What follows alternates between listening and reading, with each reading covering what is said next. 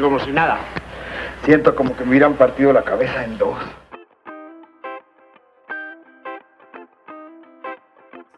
Mis amigas, mis amigos, a nombre de mi familia y de un servidor, reciban ustedes un cariñoso saludo y nuestro agradecimiento por ver estos videos. Hoy vamos a platicar sobre un actor que en lo personal admiro muchísimo, Crocs Alvarado. Él nace en Costa Rica y muy jovencito pues tiene ambiciones y se traslada a México. Era buen, era buen dibujante y decide convertirse en caricaturista. Pero también le llama la atención el deporte, se relaciona con Jesús el Murciélago Velázquez. Este se convierte en su maestro de lucha libre, pero también se relaciona con Jorge Negrete. Y resulta que el charro cantor pues lo, lo, ayuda, lo motiva y lo hace que ingrese al cine. Eh, Crocs Alvarado dentro del cine mexicano pues tiene una carrera de más de 90 películas. Trabajó en muchísimos eh, temas porque lo mismo hizo terror, por ejemplo, la trilogía eh, famosísima de la, de la momia azteca, que trabajó también en drama, lucha libre como la, la película La Bestia Magnífica, en fin, en tantas películas también trabajó eh, con muchos actores, muchos directores importantes. En fin, una vida muy intensa la de este gran personaje. Vamos a conocer más de su historia. ¿Qué fue de Crocs Alvarado? Gran actor que triunfó en el cine de oro y de luchadores. Toda mi alma.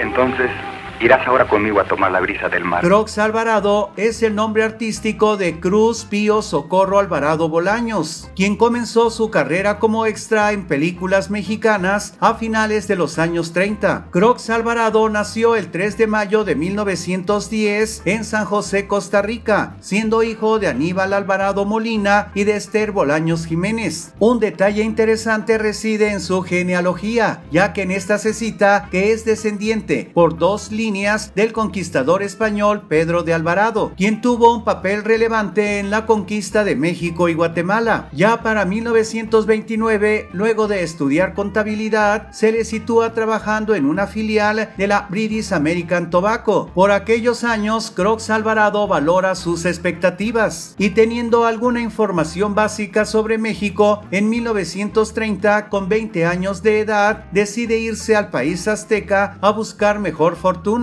una vez ya en este país, aprovechó sus habilidades para el dibujo, encontrando su fuente de trabajo como caricaturista. Sus retratos se destacaron por la elegancia de sus líneas, la acertada expresión de sus modelos y un ácido sentido del humor. En sus primeros años en México, Crocs Alvarado ingresa en el mundo de la lucha libre. Así lo vemos al lado de luchadores como Jesús Murciélago Velázquez, quien fue su maestro en este deporte. Y aun cuando la participación participación de Crocs en la lucha libre no llegó a ser prolongada, es uno de los luchadores que por su gran presencia pasó del cuadrilátero a la pantalla. Su excelente condición como atleta le ayudó posteriormente para ser considerado en papeles relevantes en el cine. Se sabe que fue gran amigo de Jorge Negrete y que este actor le abrió camino en el mundo cinematográfico. Hay una muchacha que podría meterse entre mi carrera y yo.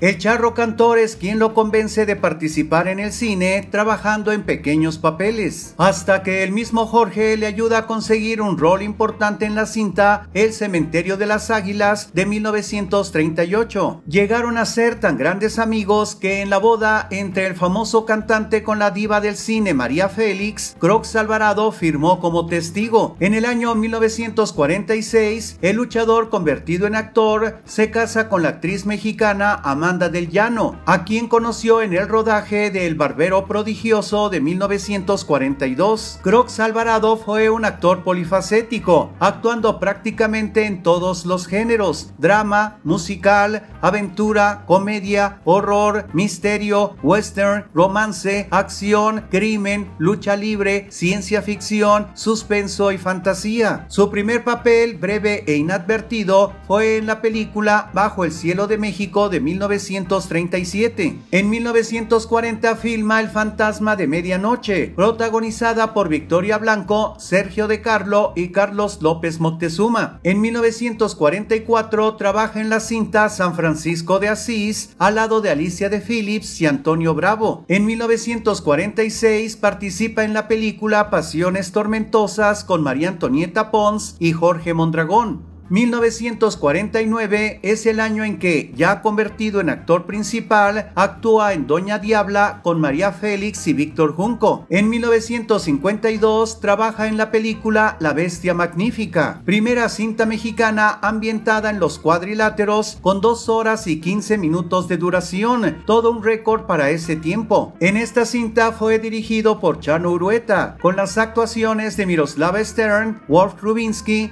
José Elías Moreno, Irma Dorantes, Miguel Manzano y Beatriz Saavedra. La cinta trata de la historia de dos grandes amigos que se convierten en luchadores para dejar atrás la pobreza en la que viven, pero la llegada de una ambiciosa mujer cambiará su destino trágicamente. Usted perdone que vengamos así, en chamarra y todo, este...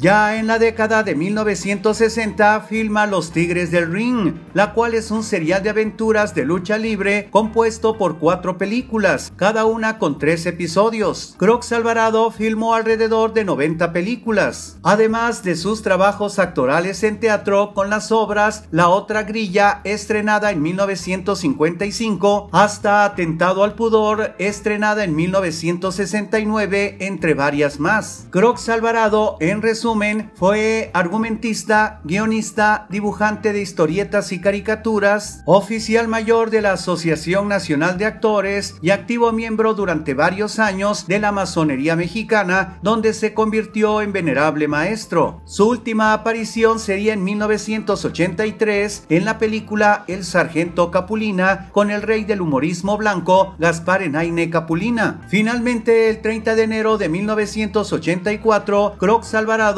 fallece en la Ciudad de México por infarto agudo de miocardio a los 74 años de edad. Al momento de su fallecimiento estaba casado con Olga Copado, su segunda esposa, con quien había contraído nupcias hacía varios años. El gran actor en ninguno de sus dos matrimonios tuvo hijos. Ahora que salgamos de aquí, se dice salgamos. Bueno, bien, si deseas saber más de alguna famosa o famoso, escribe en los comentarios. Y si te parece interesante este video, dale me gusta, compártelo con tus amigos y suscríbete a este canal. Soy Marco Antonio Velázquez, hasta la próxima.